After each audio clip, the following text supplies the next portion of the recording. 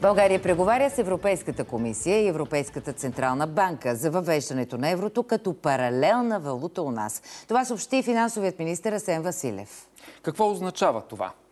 Че докато влезем в еврозоната, ще можем да избираме, например, дали да получаваме заплатите си в евро или в левове, както и физическите лица ще могат да избират една от двете валути, за да извършват сделки и разплащания. Знаем, че за сега перспективата през страната ни да влезе в еврозоната е началото на 2025 година.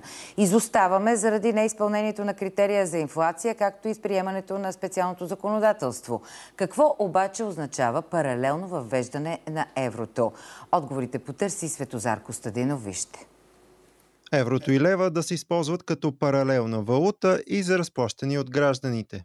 В момента сделките, които са на физически лица, както крайни продажби, заплати, по закон се извършват само в лева. Нека да си проведем всички разговори с Европейската Централна банка, Европейската комисия и ако има промяна по плана за еврото, тя ще бъде своевременно комуникирана. Как гледат гражданите на идеята? Това би било добре за България. като цяло валутата да бъде а, в евро. Чува, че две цени има отгоре и отдолу във всеки магазин и най-вероятно би работило и тук без проблем. Най-добрият вариант за България е да работи с българския лев. Това значи суверенитет и сигурност. Синдикатите настояват всичко да се съгласува с Европейската Централна банка и Еврокомисията. Със сигурност ще има някакво сътресение, но то дали ще е сега или ще е по-нататъка, ние от него няма как да избягаме. Нали? Сътресението ще си бъде сътресение.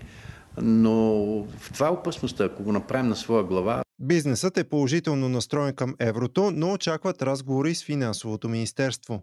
Всички действия, които се предприемат във връзка с по-бързо въвеждане на еврото в България, българския бизнес ги подкрепя. Има редица проблеми във връзка с организацията на производствените процеси, бизнес софтуера и дори и фискалните устройства. Не е ясно в момента той дали може да работи по начин, който да приема плащания в две валути едновременно. Например, вие ако отидете в магазина, ще можете ли да платите с 10 лева и 5 евро едновременно? Предимствата обаче преобладават над недостатъците. Затова, защото ние ще имаме по-лесен достъп до кредити, по-низки лихви по тях. Самите транзакционни разходи по сделките, знаем, че повече от половината търговия на България в Европейския съюз.